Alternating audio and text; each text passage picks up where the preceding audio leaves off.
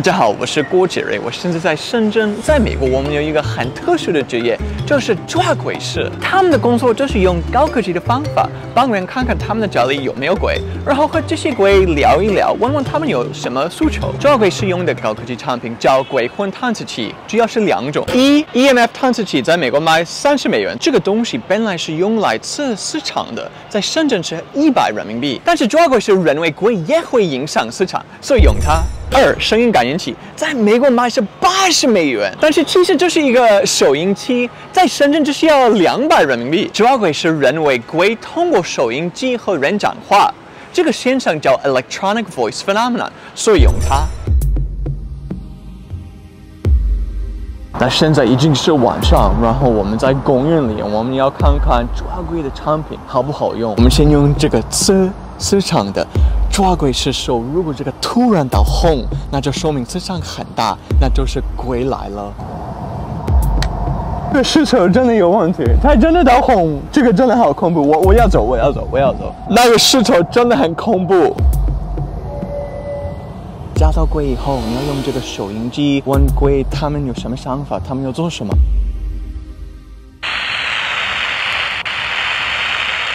Hello。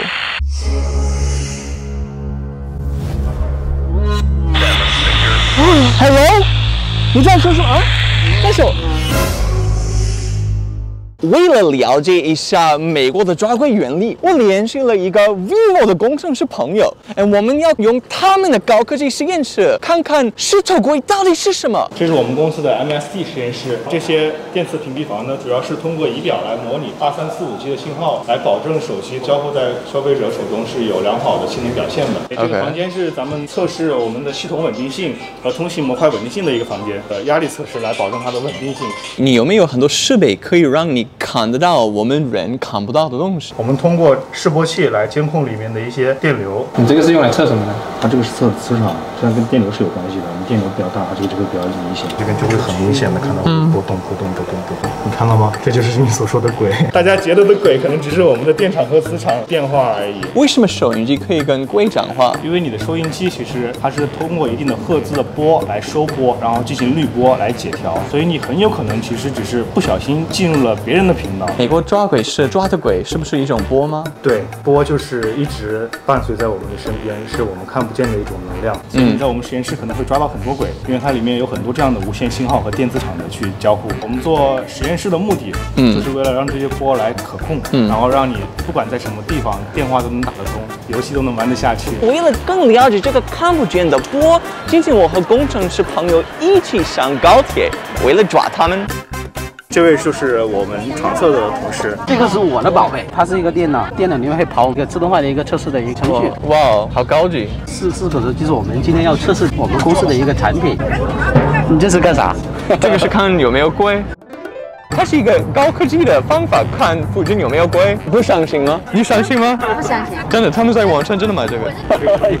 我们刷的轨迹是个看不见、摸不着的一个信号，也是一个能量波，包括打电话，包括上网。高铁它是有高速运转的一个特性，为了保证在这种复杂的环境下，我们的电话依然是没问题的。高铁是一个我们很注重的一个实网测试场景，这些数据实时的回传到我们的后台的。任务测完之后，后台服务器输出测试报告。如果说数据有异常了，就会。对这些产品那个问题进行分析，我猜可能就是你第一天知道在美国我们有这个抓龟的工作，然后这是我第一天听到你这样的工作。你觉得他在做什么？你不知道？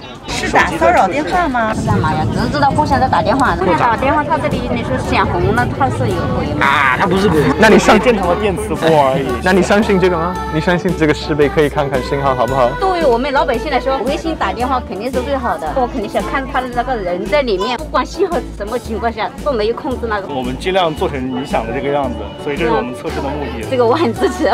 你说有鬼那个事的，我们真的不信。中国阿姨相信科学，美国阿姨不一样。纽约时报报告，In a 2019 IPSOS poll, 46% of respondents said they did 相信鬼。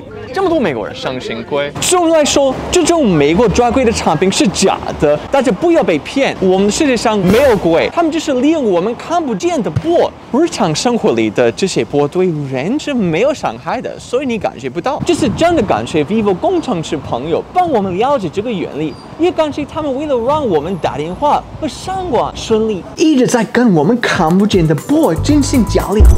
好，那我先走吧，拜拜。我是郭杰瑞。